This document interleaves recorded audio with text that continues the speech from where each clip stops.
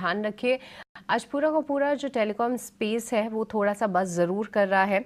Indus travel अभी एक take off की तैयारी कर रहा है, पर वोडाफोन आइडिया भी कल जहाँ पे गिरावट हावी हुई थी, वहाँ पे आज फिर से थोड़ी सी खरीदारी ज़रूर देखने को मिली है। वोडाफोन आइडिया फ़िलहाल डेढ़ परसेंट की तेज़ी के साथ ट्रेड करता हुआ दिख रहा है।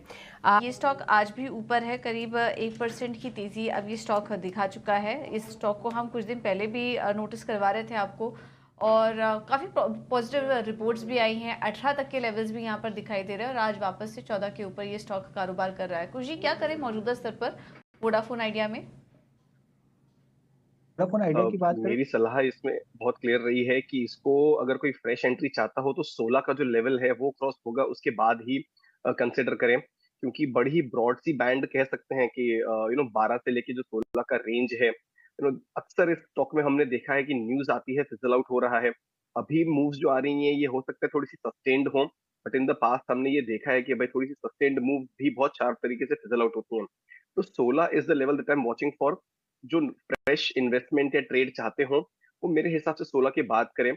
लेकिन जिनकी एग्जिस्टिंग पोजीशन हो, आप बिल्कुल सही कह रहे हैं करंट मोमेंटम है गोल्डन क्रॉसओवर देखने मिल रहा है।